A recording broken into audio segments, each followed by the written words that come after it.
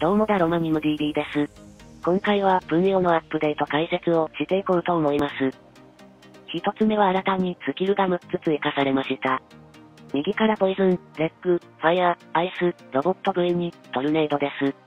そして新たなスキンも大量に追加されています。最強のヒーローは全ての能力の倍率が10倍という化け物です。その代わり値段も1000万ゴールドもかかります。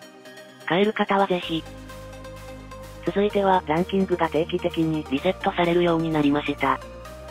リセットの周期はまだわかっていないので、わかる方がいたら、ぜひコメント欄に書き込み、よろしくお願いします。二つ目は戦闘面についてです。まず、ボスが無限は気になりました。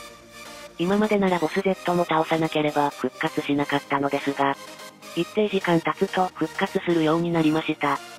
これによってボスを何度も倒せるようになったので、より早く強くなることができるようになりました。続いて、ボス Z の仕様変更についてです。今までなら、ボス Z を倒すと一定時間経ってまた復活していたのですが、アップデート後からはなんと、ボス Z を倒すと、ボス X に変化するようになりました。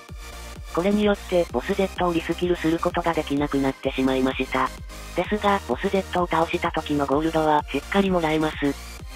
ちなみにボス X を倒すと5万ゴールドもらえて、ボス V に変化します。見た目はこんな感じ。ちなみにボス Z よりも強化されています。あとボス V を倒したことがないので、倒すとどれくらいゴールドがもらえるのかわかりませんが、見た目は最高額のヒーローと同じです。以上で今回の動画はおしまいです。最後までご視聴ありがとうございました。また次回の動画で。See you.